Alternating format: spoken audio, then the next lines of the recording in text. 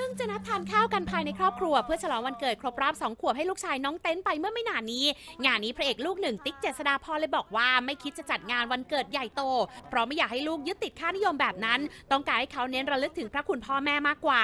นอกจากนี้นะคะหนุ่มติ๊กยังเผยแผนเตรียมปั๊มทายาทคนที่ 2 ซึ่งเจ้าตัวบอกว่าอายุ 38 ปีไม่เป็นอุปสรรค เพราะเขาและภรรยาคนสวยพิสิตมนก็ตรวจสุขภาพเป็นประจำอยู่แล้ว แต่พอถามว่าอยากได้ผู้หญิงหรือผู้ชาย หนุ่มติ๊กก็บอกว่าเพศไหนก็ได้ค่ะ